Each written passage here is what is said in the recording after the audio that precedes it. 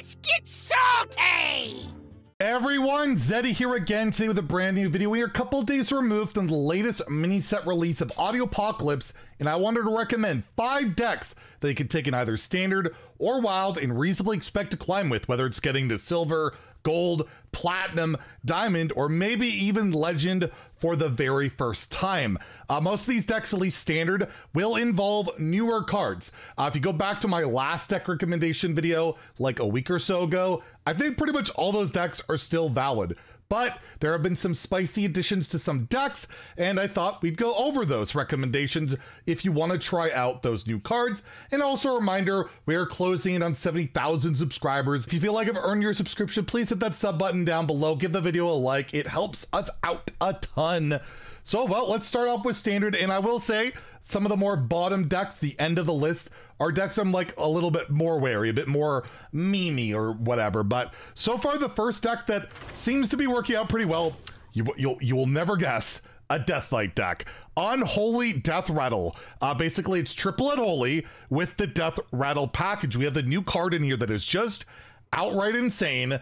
Yelling Yodeler, the 4 mana 3 4 undead that triggers a death rattle twice. And, well, you slap that on to a foul egg. It's absurd. Nerubian egg, which now makes the cut, is absolutely absurd. You can, you know, copy those death rattles with Death Growl, which hasn't seen much play, but now with the additional support, seems to be worth running. And we still have in here, you know, Hawkstrider Rancher, Nerubian Swarmguard, Pozic, the usual stuff. And you also have Insane Reload now with Magatha. Bane of Music, which has been an incredibly solid card in these minion heavy decks.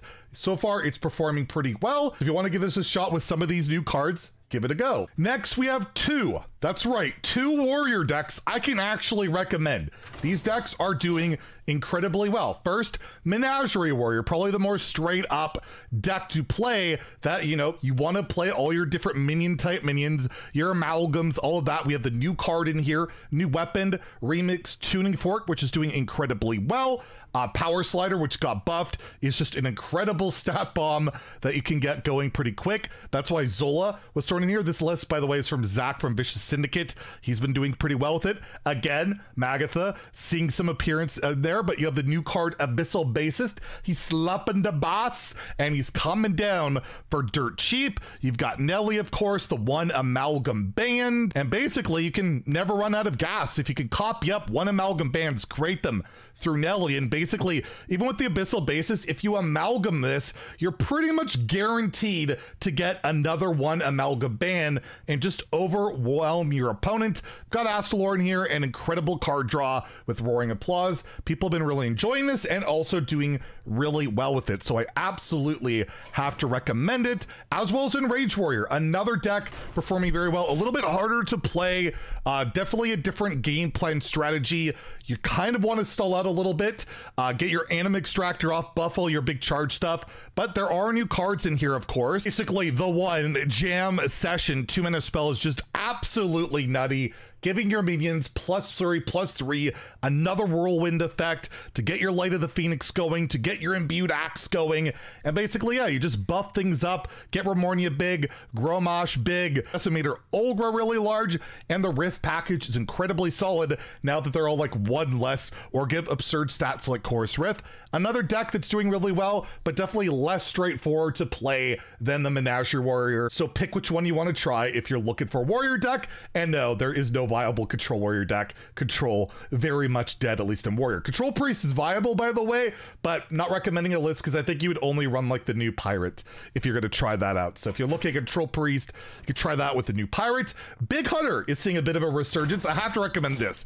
Anytime I see a big hunter list that's doing okay, I've got to recommend it. In particular, now I have access to Hollow Hound, healing in Hunter, which is pretty effective, and you can even buff it up with your Hope of Quel'Thalas or your Bananas. But overall, the deck is pretty much the same as before. Stranglethorn Heart, pretty valuable in this deck now that it's 8 mana. You can kill your opponent with King Krushes and all of that, try and get them out with Faithful Companion. But, you know, you got your early game, curves really well into your big beasts, and the deck looks like a lot of fun to play. So I had to throw it out there. A bit more on the less safe side of things, and, well, even more on the unsafe side of things is Tic Tacs XL Spooky Mage. I'm going to be playing this on my Legend climb because it just looks ridiculous. You got Sire Denathrius, which I can't imagine is correct, but it's in there. You got the new cards in here, like Star Power. Card's actually pretty good. It's a lot better than I thought it would be the buffed rotten apple bomb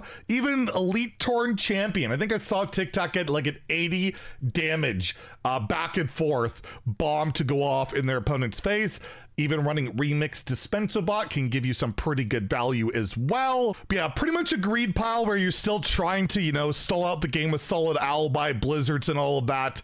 Again, this is one that's probably not going to be a very efficient climb, not a fast climb. Hell, it might not even be a great climb because this deck can lose to a lot. But I love this deck and I got to recommend it, at least to try out if you happen to have, you know, the 8 billion legendaries that it comes along with. But again, I recommend checking out our older deck recommendation video if you want to take a look at some more other safe crafts because like Frost DK, uh, Totem Shaman, all those style of decks, Outcast Demon Hunter, Big Demon Hunter, they're all really good. They're just not running that many new cards. So I really wanted to highlight stuff with new cards. And with Wild, yeah, not so much luck there. I'm not recommending the APM Priest that I highlighted in the intro clip yesterday. I've seen variants already with like Giants and Taunts, but I don't know if it's that good yet. And I just don't want to encourage crafting or like trying to get that deck to work when I haven't even seen win rates on the deck. I just know the highlights of when people high roll and win, and it's really frustrating to face or whatever. I, I can't recommend that. But what I do know is performing well, which does have a whole new card. Believe it or not, can you believe it? Secret Mage is good and wild. Like I can't believe it, and it's uh, costume singer. You know, it's it's really good. You play it on one and you draw a secret for sure. They have to kill it, and a lot of classes struggle. You know, they got a coin ping or whatever. Like it's just an absurd card, and the rest of the deck is pretty straightforward. You can build whatever secret mates you want with it. it you know, just play all the cards that abuse secrets. And uh, this list has Orion in it. It's a little bit spicier, but overall, yes, Secret Mage got even better, and I don't think that's really fun for anyone. Please stop making Secret Mage support, please. Uh, a deck that's made a big resurgence lately is Mech Paladin. Kind of counters like Questline Druid and Kingsbane Rogue, which are quite popular, which I'm going to recommend one of those. You can play Kingsbane Rogue still, by the way. It's still really good. But yeah, Mech Paladin, which has Radar Detector. Don't forget, this card exists. Two mana draw five is absurd. And now with like Frequency Oscillator in there, the buffed War Gear, the fact you're no longer board locked by seven minions, you can still magneticize with that, which believe me is relevant. And yeah, you just cheat a billion stats set on like turns two and three uh, with your Radar Detector, which you can, you know, tutor out with Stone Hearth Vindicator. You might even want to consider putting in like the Magatha card. Five minute draw five. It's probably too slow. You really need to hit radar detector and scam really fast, but something could consider. But yeah, play a bunch of max slap magnetic on it, and then you could give it all taunt to divine shield. That like auto beats quest druid pretty much, and a lot of those decks that just want to go face. And yeah, very popular right now in wild and questline druid. I, I keep recommending it. It keeps doing well for people. Uh, this is just another take on it. There's so many different ones. This one's more built around uh, groovy cat. You could tutor it with like peaceful piper. Still have the zero mana minions to sheet out. Your ETC has like ice block tech, has big taunt, you know, divine shield mech tech, and cobalt tech, which I feel like you already beat Kingsbane, but they're running that. So that's the one I'm recommending. Again, the prior list I recommended probably just as valid, if not more. Shudderwock Shaman also in there. I don't think it has any new cards. It does the usual stuff where it just scams with the Murloc package like every Shudder list does. Scargil, Ravager, uh, you got, you know, Flurgle and Tiny Finn or sorry, Toxfin, and of course, you know, cheat out Mutanus, eat your opponent's hand. They threw the one amalgam ban in here. I don't know. It's spicy. Maybe try that. Seems kind of bad to me, but hey, your Shudderwock gets to use that, right? Isn't that the battle cry? Uh, so there, there you go. You know, but uh, overall, it's pretty standard. And you know, you, you could cut, you could cut the one amalgam ban and throw in another schooling if you really want. Like it really doesn't make that big a difference. And then lastly, Engines Omega Reno Paladin bait deck. I had to throw it out there. He got legend with a really good win rate.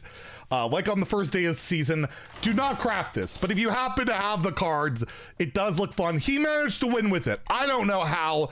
It's got a lot of legendaries, just a few to name a few, but it's got the Diamond Zeph, which um, looks kind of bugged out in this client. But yeah, the new Diamond Zephyrus, it just plays, you know, all the controller style cards, a bunch of legendaries, some disruption. Uh, uh, Speaker Stomper, there's a new card. See, Guardian of Kings, absolutely broken, and even Elite Tauren Champion. This deck, absolutely not bait okay, just don't. I can't even sarcastically say it. Do not craft this. It is terrible. But as Engine stated, Far Watch Post kind of uh, beats the APM priest every time they draw a card that costs one more and they can't scam you as much. So maybe something to consider. Maybe there's validity to it, but I had to throw that out there for the memes. So there you go. 10 decks you could try out. Hopefully guys have some success. Again, last time I'll mention last deck recommendation video. I'll link it below. Uh, you could take a look and see if maybe there's something there in case you're missing some of the like newer, spicier stuff. And well, good luck on your climbs. If you enjoyed the video, please like and subscribe. Have a great day and stay salty, my friends.